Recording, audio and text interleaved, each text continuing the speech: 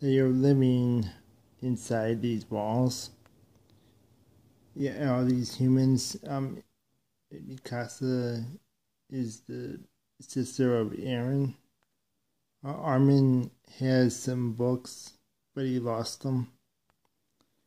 Yeah, they're within these tall walls, and they got attacked by the Titans. And Eren's mom got eaten. And apparently, Eren's dad is a genie. But he did not grant any wishes. It was a little slow, but it was overall pretty good.